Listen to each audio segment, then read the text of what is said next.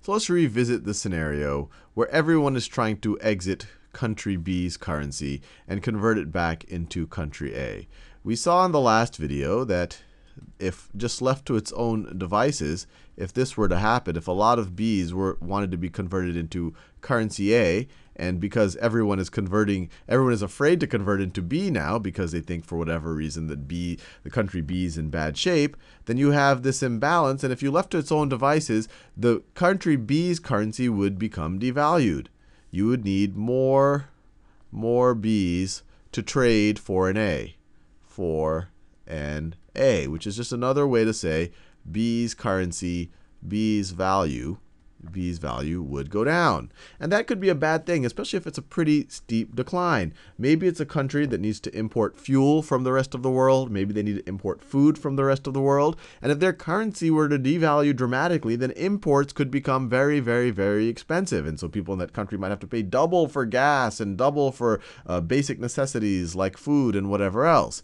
And so we played out a scenario where the central bank of country B actively tries to intervene to keep this from happening, to keep the exchange rate stable. And so what they do is they could use they could use reserves, and I'll do some blue for country B. So they could use reserves for, of A that they've accumulated during better times, and they take those reserves. So these are reserves that they accumulated in better times or in previous videos, depending on how you want to view them. And they try to balance out the supply with A's with the supply of B's by selling by selling their reserves and buying B's. So one way you can think of it, they're adding supply of A's and they're also adding supply they're also adding demand for B's. They're going to sell the reserves of A and buy their own currency. And that would work as long as they have reserves. They're going to be able to stabilize things so that this situation doesn't happen. But the problem was, and we talked about at the end of the last video, is that they can run out here. It's not like they can it's not like they can print a, a, another country's currencies forever, or they can't print it at all. They they had to accumulate this. This isn't their own currency, so they have a finite amount of this. They could eventually run out. And what is often the case is currency speculators see this and they begin to smell blood. They see, okay, look, people are trying to exit this currency. It would devalue if it was left to its own devices, but the central bank of country B is trying to keep it is trying to keep it from devaluing by depleting its finite reserves of currency A. And so what currency speculators will start to do is, well, I can go into country B and I can borrow B's. So I literally could go to a bank in country B and borrow, I could borrow some of the B currency, and then I could go into the exchange markets and try to convert it into A's. And try to convert it into A's. And just off of when looking at this superficially, what, what's that going to do? Well, this is going to make the situation even worse for the central bank because now you have people actively, they didn't even hold B's before, they're going to be borrowing B's and then converting them into A's. So it's going to create an even larger supply of B's and even more demand for the finite number of A's that are willing to go this way. And why is the speculator doing this? Well, think about the two situations for them.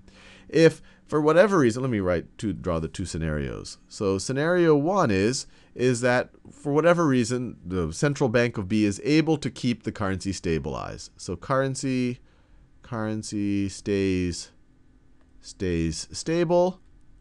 And the other scenario is is that the central bank runs out of reserves and they have to essentially just let the currencies float and B gets devalued.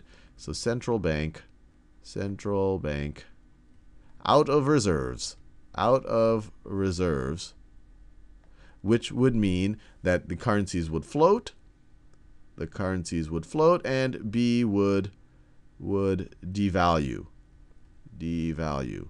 Well, if this first scenario happens, and it's become it's going to become more and it's going to become less and less likely as more and more people pile on this strategy, and more and more people try to uh, uh, run out of B's or try to exit B's currency. But even if this situation were to happen, then the speculator says, okay, the currency ended up being stable. I'll just unwind this. I'll take my A's. When I have to pay off my debt in B, I'll take my A's, convert them into B's, and pay off my debt. And so, depending on what the interest rates and all of that were, not a big loss or maybe even a minimal loss. So, minimal loss minimal loss, and only if there's kind of a differential with interest rates or things like that. Minimal to no loss. Minimal to no loss. But what happens if the central bank runs out of reserves? And remember, just the fact that these speculators are doing the speculative attack, they're borrowing in country A and converting into they're, car, they're borrowing in country B and converting to A, that's making the central bank run out of reserves even faster. It's going to deplete their reserves. Essentially, when they do this, it's the central bank of country B that's going to be giving them, is going to be allowing them to convert. They, they don't know who they're who they're buying these Bs from with this A currency they have.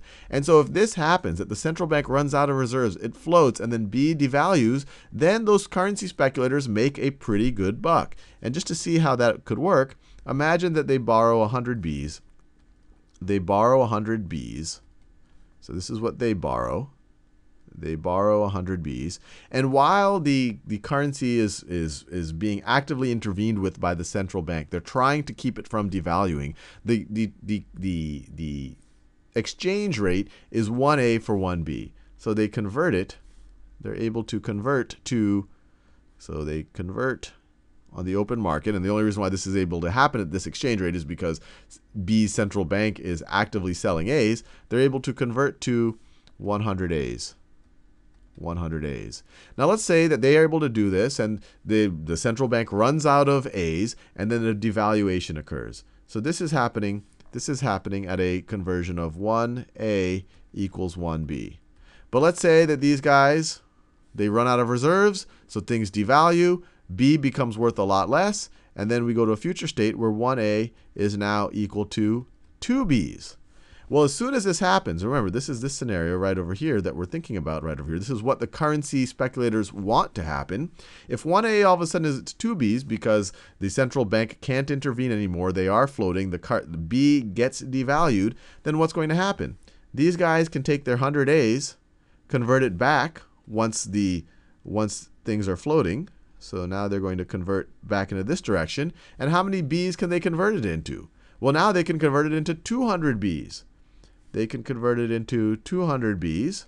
They can pay off their debt because they borrowed the 100 Bs. So minus 100 Bs to pay debt, to pay debt, and then they make a pretty size, sizable profit.